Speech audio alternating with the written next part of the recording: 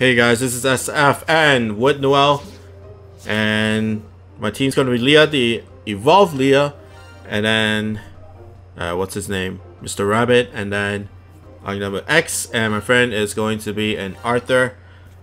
If you want to make alternatives, then you bring Apollo, Asha, those types of monsters, um, some other fire. You want like flight and no gravity barrier monsters at the same one, so Hakua is also good. Uh, you don't really have to bring Minesweepers like in Light Noel, so uh, you can bring Flight No Gravity Barrier, which is there's a lot, you know, Tengu, um, Tengu, what's that other guy's name? Alien Gray. It's also a good fire monster. Yeah, Hatcher monsters, Apollo. Uh, well, I guess Asha is a uh, fire uh, extreme monster. I mean, not extreme monster, and farmable. And then all the other ones, Sanada's not bad-ish. Ish. I say ish. Uh, there's probably better ones, like Fire No Gravity Barrier. Uh, Roma, of course, is one of them. With the Wood Slayer and all that. Cow Cow is also good. Cow Cow with his wall bouncing strike shot is also good. But in terms of Wood Noel, you want to be very, very far away from her because of that. Close spread, the short spread. Uh, it's the mini boss, so it doesn't do that much damage, but once it gets to boss bars, you gotta get the hell out of there. Get the hell out of there. Okay. Leah's good. Flight, no gravity barrier. Rabbit, Scarlet is uh, wood resistance and no gravity barrier. And then Agno X is probably the most OP one in uh, for this dungeon, and I completely missed the weak spot. That equals to more damage. But the mines are relatively situated in one side of the map or one row or line. So you can avoid it relatively easily and you have blocks to kick you out or let you back in I guess into those mines. Okay. And bye-bye. Next stage. Okay, next stage you want to be at the top if you have mine if you have non-minesweepers. If you have minesweepers then you can be on the bottom side. But I'm just gonna move myself up and take care of the ability lock monsters. They are really annoying. Really, really annoying. And sadly you cannot pinch on the top of her head. I really hope that that would have happened, but can't. Next is Arthur, trying to go up, and hopefully, guess not, didn't kill off the ability lock. And survive the ability lock as well. So that's always good.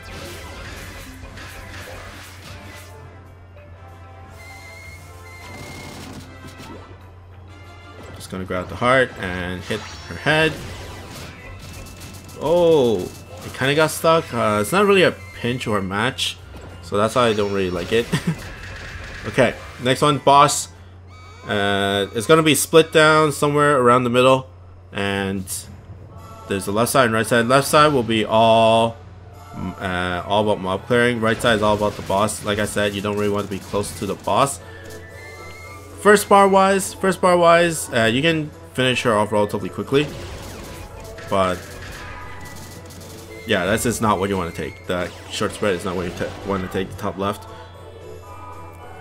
And after that happens, then I can basically take care, uh, I can just go straight towards uh, Wood Noel. Although it comes out every other two turns, I'm gonna get in there anyways, and hopefully finish her off. Come on, guess not. And I'll be taking damage. And 6k off of Hog number X. It's one row though, so if it hits multiple rows, if I get too close, then that's a lot of damage. Okay. Next stage, you want to be on the left side of the map. Left bottom. Bottom left. Not left bottom. Bottom left. And you want to start clearing mobs first. This is where Hakua becomes really good. Uh, because you can use her clone SS and then just move around like crazy. Uh, I guess you can bring Nicholas, Ascended Nicholas if you have him as a max luck to do all these mob clearing. Mob clearing. or Ashura for mob clearing as well. You want to save at least one mob clearing strike shot for the last stage and I'm really close. Ouch. But the main strategy is clear off the zombie, then clear off the ability lock monster, and then aim for the boss.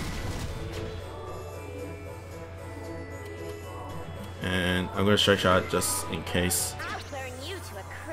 Oh crap. I totally forgot. totally forgot that her evolve strike shot is different than the ascended or different from Queen Butterfly. So there goes that missed strike shot.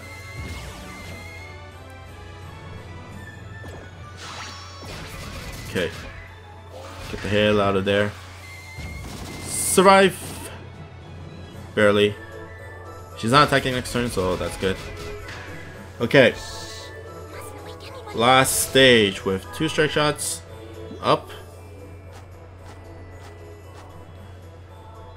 And Agnamut X is somewhat in a bad position.